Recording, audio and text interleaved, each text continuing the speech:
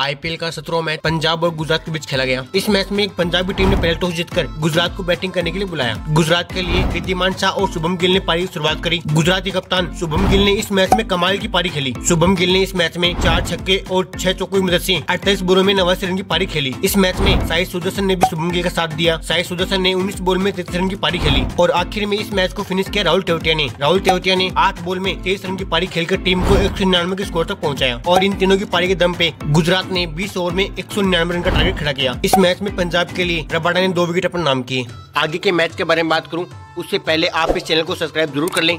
हमारे चैनल पर आपको एक छोटे सी वीडियो के माध्यम से ही आईपीएल के पूरे मैच की जानकारी मिल सकती है। और आपको सभी आईपीएल मैचों की जानकारी सबसे पहले और बिल्कुल सही मिलेगी। और अगर आप मेरे साथ जुड़ना चाहते हैं तो आपको डिस्क्रिप्शन बॉक्स में व्हाट्सएप ग्रुप का लिंक और साथ ही टेलीग्राम चैनल का लिंक भी मिल जाएगा। तो अभी जाकर के हमारे चैनल को ज्वाइन कर लो, जिससे की आपको आईपीएल के सही मैचों की जानकारी सबसे पहले मिल सके। दो सौ रन के लक्ष्य का पीछा करने के लिए पंजाब की ओर ऐसी सिक्कर दोनों और जोनी बेस्टों ने पारी शुरुआत करी। पंजाब की टीम शुरुआत में लड़खड़ा गई। शुरुआत में पंजाब की टीम के लिए प्रभ सिमरन सिंह ने चौबीस गेंद में पैंतीस रन बनाए। इसके अलावा कोई खिलाड़ी बड़ी पारी नहीं खेल सका। एक समय में पंजाब की टीम यह मैच हारते हुए लग रही थी। लेकिन फिर मैदान पर वापसी की शशांक सिंह ने, और शशांक सिंह ने इस मैच में चार छक्कों की मदद से उनतीस गेंदों में इकसठ रन की पारी खेली और शशांक सिंह का साथ दिया आशुतोष शर्मा ने। आशुतोष शर्मा ने भी सत्रह गेंदों में इकतीस रन की पारी खेलकर इस मैच को जिताने में बड़ा योगदान दिया। लेकिन शशांक सिंह की पारी इस मैच का टर्निंग पॉइंट रही और जिसके लिए शशांक सिंह को इस मैच में मैन ऑफ़ द मैच चुना गया। गुजरात के लिए नूर अहमद ने इस मैच में दो विकेट निकाले, लेकिन उसके बावजूद भी पंजाब की टीम यह मैच एक गेंद रहती जीत गई। तो आज की वीडियो में बस इतना ही। अगर वीडियो अच्छा लगा तो वीडियो लाइक कर दें और चैनल को शेयर ज़रूर कर दें।